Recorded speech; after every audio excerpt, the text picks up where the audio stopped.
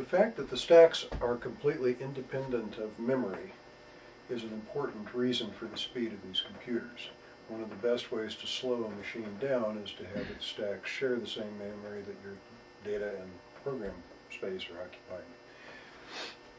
The structure of them is unusual because they are circular, and this is actually an asset. There are all kinds of programming techniques we'll discuss in later courses uh, that can take advantage of their circular nature. At the moment, what we intend to do is to make completely clear how each of the two stacks works. The answer is that they work identically. The only difference between the return stack and the data stack is that the data stack has two registers on top of it, whereas the return stack has just the R register on top of it. Otherwise, if you look at S and R as being the registers adjacent to the stack arrays, the two stacks behave exactly the same. The stack array can be regarded as being a ring. That's the simplest way to conceptualize it because it'll make it the easiest for you to predict its behavior when things happen.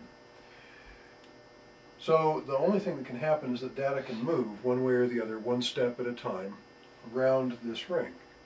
There's a break in the ring at the element which is closest to R or S and that's where the differences happen on pushing and popping. Otherwise, the only difference between pushing and popping either stack is the direction of rotation of the stack elements in the array in concept.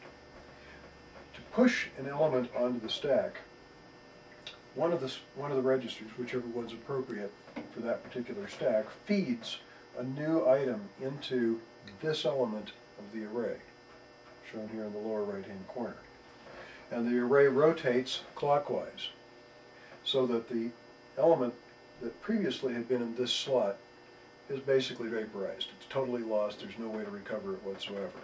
So that shoves an item off the end of the stack as you're putting one in from the feed register.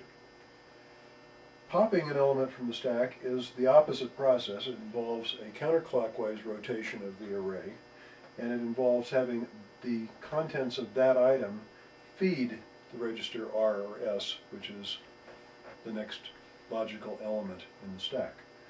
Note that when you pop a stack item, not only is the top item in the array fed into R or S, but it also is copied into the bottom item of the array. This is important to remember. You will find it a great advantageous programming technique if you remember how it works. So, when we speak of the stacks, we call the data stack a 10-element stack, because in fact it has the two registers which are logically part of the stack.